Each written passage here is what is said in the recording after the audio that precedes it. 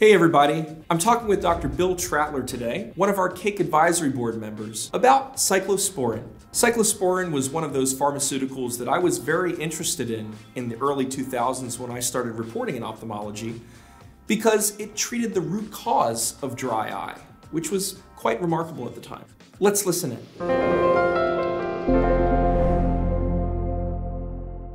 Dr. Trattler, welcome to the program. Thank you. It's great to be here.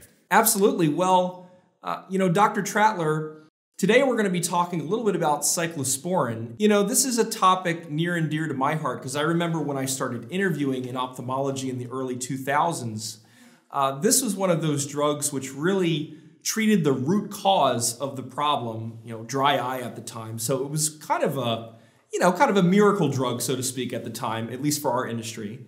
So I'm just wondering, you know, what do you think about cyclosporin over the years? Well, cyclosporin has been one of the most important drugs for treating dry eye uh, that's ever been developed. It's one of the drugs that is routinely used by patients that have chronic dry eye. It's been, it helps patients who have significant symptoms slowly get better over time. And it's kind of like, I always think of it as kind of that, when I tell my patients, you know, we should all exercise, we all should try to stay healthy. Uh, uh, cyclosporin helps keep the dry eye at a bet, at a nice level and slowly improves it over time. And I have family members that use, use cyclosporin uh, for many, many years, and, and of course, so many patients that use it. So it's a fantastic treatment for our patients with dry eye. Absolutely. Well, you know, in the interval between the early 2000s and now, um, what has been the evolution of cyclosporin? In other words, what has that been like? We learned so much about cyclosporin. When it first came out, we thought it was only for the most severe patients with dry eye, and we soon realized that the earlier we start treating patients with cyclosporin, the better the results. So you don't want to wait for people to be have severe dry eye. Catch them earlier, moderate, and even earlier than that. Um, so I try to start cyclosporin when I first diagnose dry eye at the earliest levels to prevent patients from getting more severe, uh, uh, you know, levels of dry eye. Plus, we found it really helps our patients that have uh, various types of surgery. So, like we found uh, Marguerite McDonald and others showed that it helps uh, with outcomes with laser vision correction. So that's been used before and after laser vision correction for many, many years. Uh, it's just been a great medication. It's really made a big impact for our patients. That's awesome. Well, uh, you know, I understand Cequa is a new formulation of cyclosporin. So could you tell me a little bit about that solution? Absolutely. So again, our original solution uh, that we've had uh, uh that's been FDA approved uh, in the U.S. here for many many years is quite effective. But it's always nice to see uh, innovations.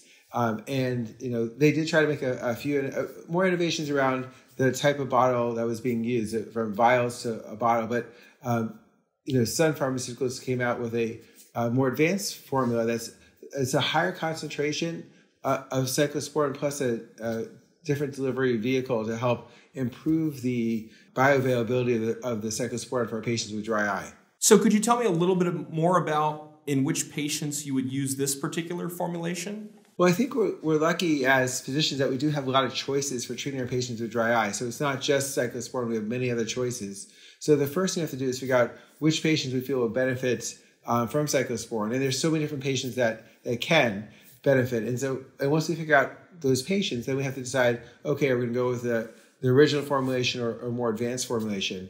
Um, I do have many patients that have, that have been on uh, the original formulation, Restasis, for years and years, and they, are doing well. So it wouldn't necessarily switch those patients. But if I have patients that are coming in for with a new um, on, uh, they have dry eye, I'm for, seeing them for the first time, I typically will lead with uh, Cequa because it's a higher concentration of cyclosporin um, and it does have an excellent. I have an excellent experience with it, both for comfort, um, as far as its comfort and its effectiveness. So that is we're lucky to have both formulations, but Cequa has been my kind of the technology I've been using for new patients that have come to my practice. You know, over the years, I've heard of other uh, formulations of cyclosporin come out, and sometimes I feel like I've heard about you know significant significant types of irritation but you know, what has your experience been with Cequa as far as uh, you know any side effects, or is it you know does it seem to do well in most cases? What we found out with the original version of cyclosporin is that there's a significant percentage of patients, especially if they have severe dry eye, that have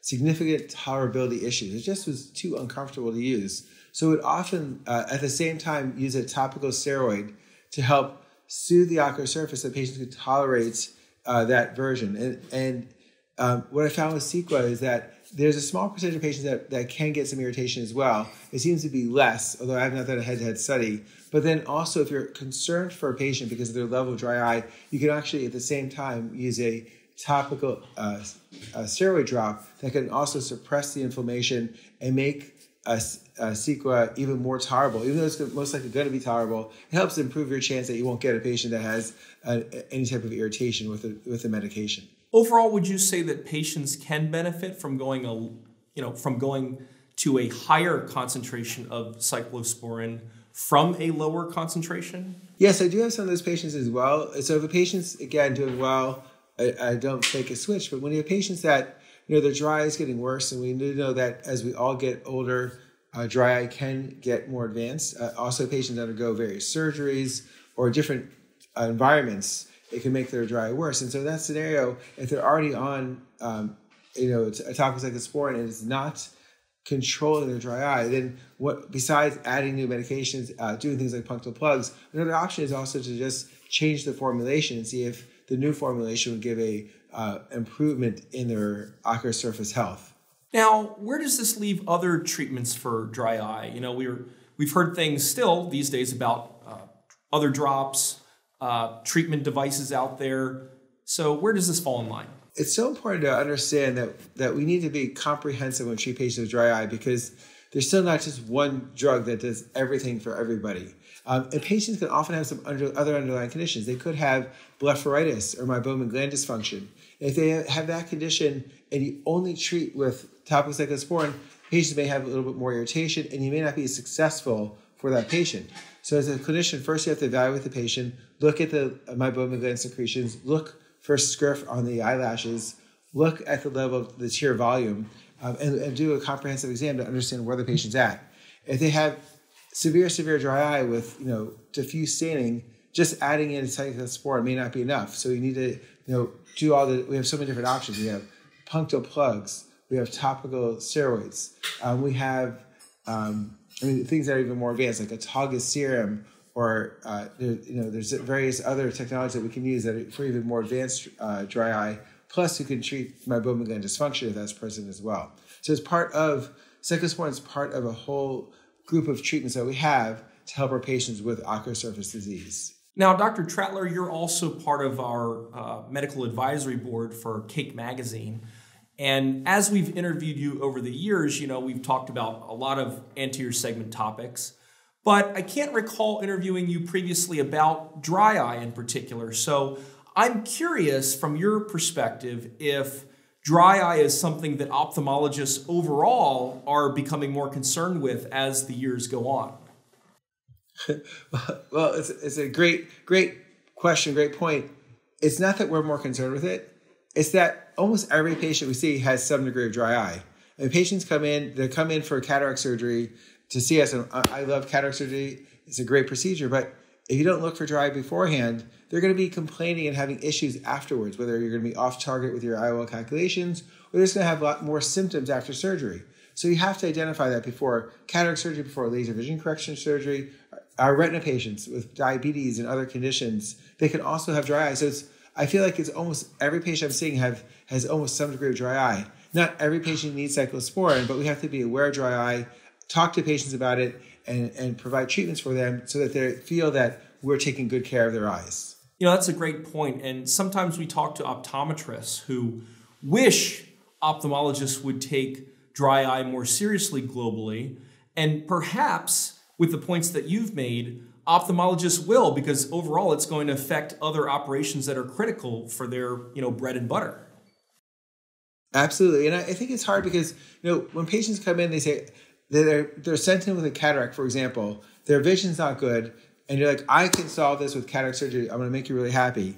You know it's hard it's hard to also say at the same time wait besides that you also have a second condition let's work on that too and it can be distracting for the patient it could you know, it could be a little bit of a challenge. But on the other hand, when you don't do it ahead of time, after surgery, you pay, you pay the consequences because it does take more visits afterwards. They come in a little bit less happy with their uh, with their result. Whether their eye feels uncomfortable or they're having fluctuation in their vision. So as ophthalmologists, it's important for us to identify dry eye and treat it and be proactive. Well, Dr. Trattler, thanks so much for joining us on the program today. Uh, really nice to take a little trip down uh, cyclosporin memory, memory lane with you and look toward the future as well.